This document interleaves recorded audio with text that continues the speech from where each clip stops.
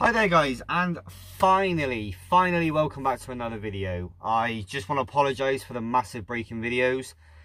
Um, I've been busy with work for starters, but I've been having a massive issue with my editing software. I don't know what happened. Yeah, it was just, it's been a nightmare. And in the process of this, some of my footage has actually been corrupt. The video I was supposed to be posting now is most of it is corrupt. There's bits and bobs of it that work, but the majority of it is just unusable and it doesn't really make any sense. So I thought I'd do this bit at the beginning of this video to explain it.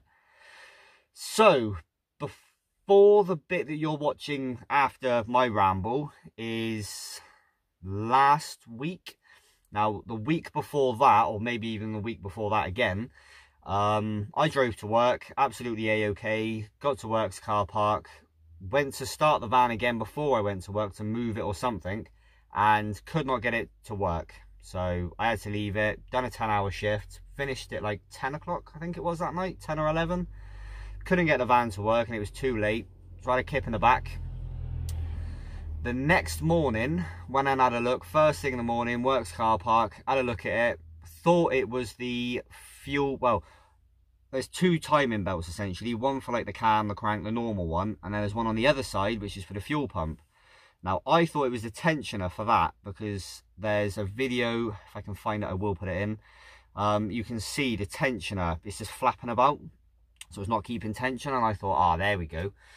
So managed to get it to catch and work enough so i can limp it back to jonathan from the doghouse. He had a look at it said well, he thought it was a tensioner as well from the videos I showed him. And he took the, the belt off, which is here, and actually turns out, hopefully you guys can see, I'm missing half the teeth off the inside of it. They just completely sheared off and it's smooth. And on closer inspection, I really hope that you can see this, but on closer inspection, you can actually see you might not be able to. But all of the remainder of these teeth are literally about to like snap off and come well look, there you go.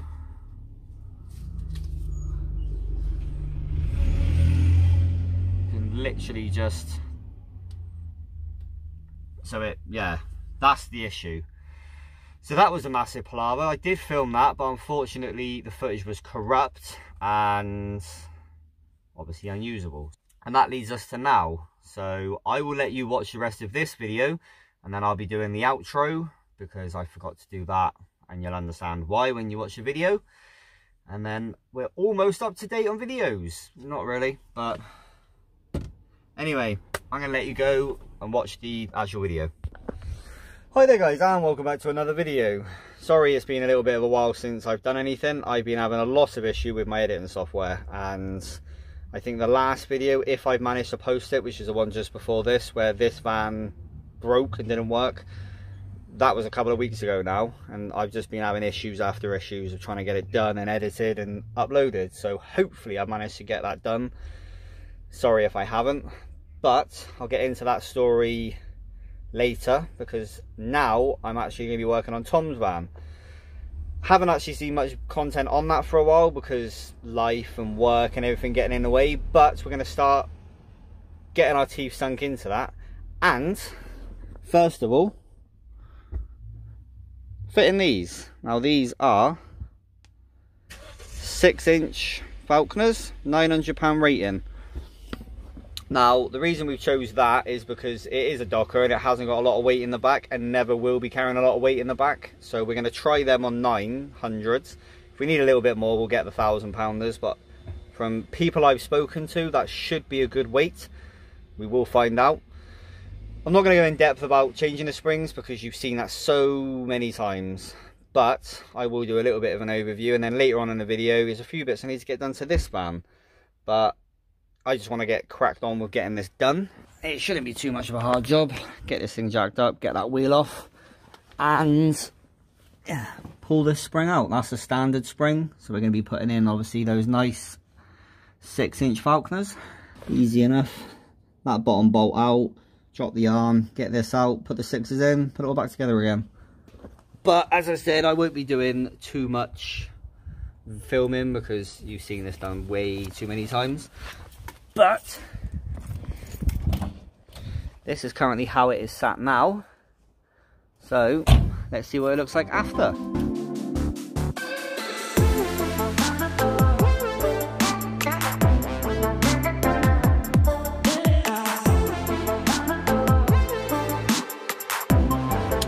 And welcome to a little bit later randomly. Now, the little bit of footage you've seen at the beginning of this, that was obviously us lowering Tom's van.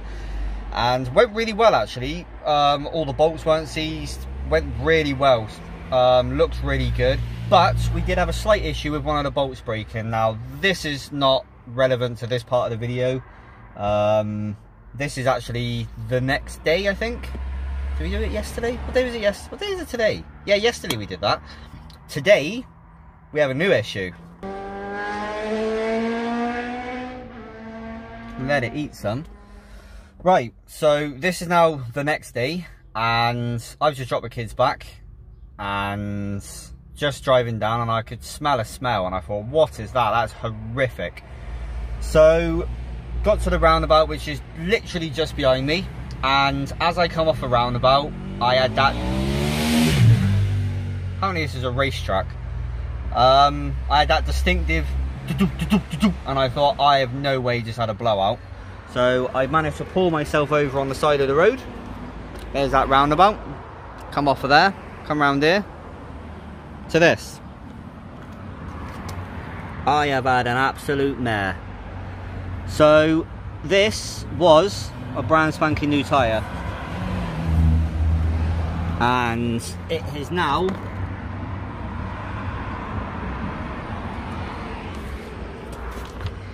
completely debeaded. Yeah, I'm now stranded. So I have actually just phoned up a mobile tyre fitter. And they are on their way to me as we speak. Absolutely extortionate the price. 150 quid. Well, actually it's 180 quid, but we won't go there. So he's on his way to me. He will be anything from 45 minutes to about an hour and a half. So I've got me a nice warm can of fizzy and I'm going to sit here and cry. But I thought, you know what? Let's share it. Let's get on with it. So I'm going to get that tyre off and get that dealt with. At least when he gets there, it's already off and he can just mount the tyre. So then I can go back because the time is now 7.50. In fact, what time did I call him? Luckily enough, I've got charging in here because my phone was getting proper flat. Right, so I first called him at, well, half past seven. I had to pay a deposit. There we go, 7.45. He said there'd be 45 minutes, so that takes it to half past eight, roughly, give or take. So, yeah, I'm to drink my warm pop. I might as well get that tyre off for him, get a picture for Instagram, and I guess I'll report back once I'm a little bit more skinter. Well, I'm sorry for the road noise, really am sorry, but managed to get the tyre off. Absolute shred city down here. Stinks like arsehole as well. But, this is what we're looking like. Tyres completely folded over at the bottom. Found the culprit part of the culprit. That edge looks battered. Tyre is completely folded in. And there's the other side of the tyre there. Oh. Amazing. But now I've just got to wait for the tyre man to come and get me. Not quite how I expected to finish off my day. I when I looked underneath the van, it's probably a picture up on Instagram. If I remember, I'll try and put it in here. When I put that up on the jack and had a quick look underneath it, I could sort of half see it. It looked a bit like that. And I thought that that was my alloy buckled and absolutely mangled. Luckily, it's not. It's the other side of the tyre. And from what I can see of it, it looks like it's folded over as I was driving on it and it hasn't touched the outer lip or the inner lip. Thank Christ. Look at this. Jesus Christ. You can literally see where I've been. It's like bits of rubber. Anyway, I'm gonna stop babbling. Let you know when something else happens, I guess. This is fun. Well, tyre's no longer here, but a tyre man is.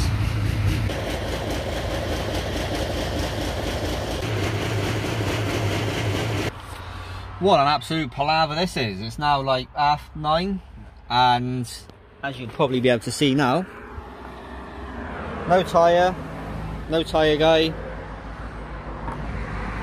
Brilliant. So what's happened is, is he was having a struggle. I don't know how much of this I've already filmed or whatnot, but he's tried to take the tyre off and that inner bit that's like the little bit that's left over is on the inside of the, the wheel is it won't come off at all. He's tried absolutely everything. I've got an angle grinder in the back and I said, look, got a plug, we'll cut it off. No plug in the back of the van to be able to do it. So he's had to drive it all the way back to his place, which is about a 20 minute drive so that he can cut it off and then he's going to come put the tyre on and then come back. So I'm, I'm now stuck here. Um, I did explain to him I didn't have my bank card with me and I've now got to phone the office and they won't answer their phone to make a payment. So I'm now stuck on the side of a road with no wheel and he's disappeared with it. No way of paying him, no way of contacting him.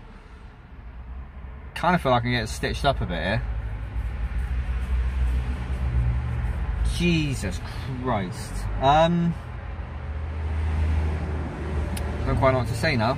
I'm gonna try and get hold of them I'll let you know what happens as it happens, I guess. What a palaver. What a... That, brand new tyre as well, mind. That's, this is ridiculous. Anyway, I'm going to go. See you in a bit. Right, I almost forgot to film this bit, but it's now 10 to 11 and he's just been back. Bless him, he's come back in his personal car. He finished it like 9 o'clock. I think he said 8 or 9. Went back, cut the rest of the tyre off, put the new tyre on, and then drove back here to drop the tyre off to put it back on. It's all on now. Bless him, lovely chap. But I'm going to keep it short and sweet because I want to get back because it's nearly 11 o'clock and I kind of want to get to bed because I've got work in the morning.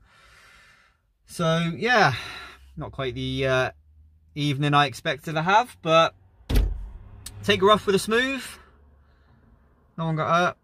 All fun and games. Anyway, I'm going to stop babbling and I'm going to get myself gone. So I'll probably pick this up tomorrow and finish this video off. But anyway, thank you very much. Have fun. See you in a bit. Well, there you go. There was that little situation done. Um, I'm pretty sure that was last week or maybe even been the week before the whole tyre situation. Um, it's all fitted. It's all good. It's all gravy lower Tom's van and because of everything that went on I didn't manage to show the rest of it. I will try and put a picture up on the screen so you can actually see the, the before and after of it and yeah it's, it's dramatic. Tom said he has obviously he's driven it quite a bit and he said it's like night and day. He does need better shocks because the shocks that are on there are not quite up to what he needs but Here's one of his old shocks that we took off and the bolt snapped on the inside of it. There you go, you can just about see. There's the bolt on the inside. We have drilled it out and we will be removing the rest of that. I have got removal, probably not that one. I have got removal tools to be able to get that out. So literally once I finish recording that, that's going to be my job, get that bolt out of there because that's actually quite a good shock. But I am trying to get Tom to get the Gaz extra short adjustables because they're fantastic, absolutely amazing. And considering he's got obviously got the Doka with no weight on the back, the adjustability on the back will benefit him massively.